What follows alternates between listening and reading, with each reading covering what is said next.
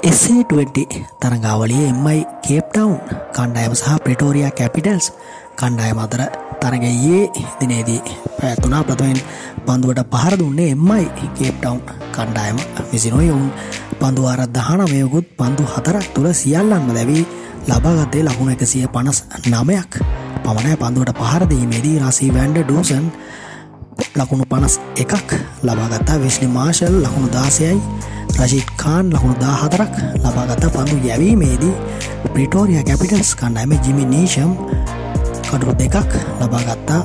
ඊතන් බෝෂ් සහ ඇන්ඩිට් නොකයා යන දෙද නාම කඩු දෙක බැගින් ලවා ගැනීමට සමත් වනා ඉන් අනතුරුව පිළිතුරු ඉනිම ඇරව පිටෝරිය කැපිටල්ස් කණ්ඩයම පන්දුවාර විස්ස කඩු නමයක් දැවී එම ඉලක්කය සපුරා ීමට සමත් වනා පන්දුට පහරදීමේදී ්‍රීලි රොසෝ ලකුණු හතලයක් ලබා සමත්තුනා පිටෝරිය කැපිටස් කණ්ඩයම් නියෝජනය කරන කුසල් මෙන්ඩිස් පන්දු විසි පහකදී ඉතා වේගවත් ලකුණු තිස් නමයක් ලබා ගැනීමට සමත්වීම ඉතාමත්ම කැපී පෙනෙන තස්කමක් විදිටයි දක්වනට පුළුවන්.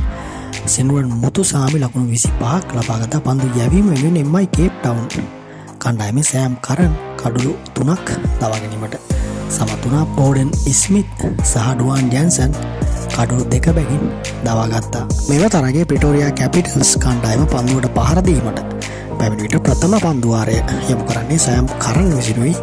ශ්‍රීලකා පිරිකරු කුසල් මෙන්ඩිස් පළමෙන පන්දුවාරයට හතරේ පාර තුනක් සෑම් කරන්ට එල්ලකිරීමට සමත් වෙනවා. යනුව පළමු පන්දු වාරය නිමාවට පත්වන්නේ ලකුණු පහලවක් වශයනුවෙන් මෙම සිදුවීම ඉතාම වැදග සිදුවීමක් ලෙසයි හඳුනන්ට පුළුවන් වන්නේ. නවතම ක්‍රීඩාතොරතුරු දැනගැනීම සඳහා සබ්ක්‍රයිබ් කර එකතුවන්න අපගේ YouTube නාලිකාව ලංකන් ක්‍රික් මඩියා සමගින්.